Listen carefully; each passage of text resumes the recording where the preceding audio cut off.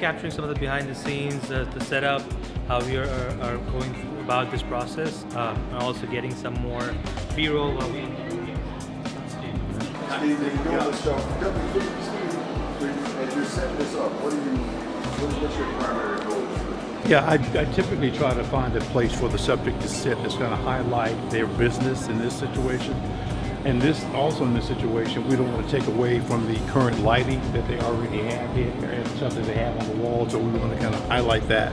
But at the same time, we don't want to blow it out with the uh, daylights that we have uh, on set here as well. So, you know, you position the microphone uh, just right, position the camera just right, and once that's done, uh, we just hit record and kind of keep it going.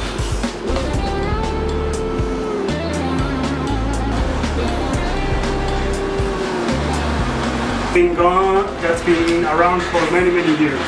Uh, that's been around for many many years. That's been gone that's been around for many many years. Goes in the oven and we'll see you in 10 minutes. Uh, it goes in the oven and we'll see you in 10 minutes. Goes in the oven and we'll see you in 10 minutes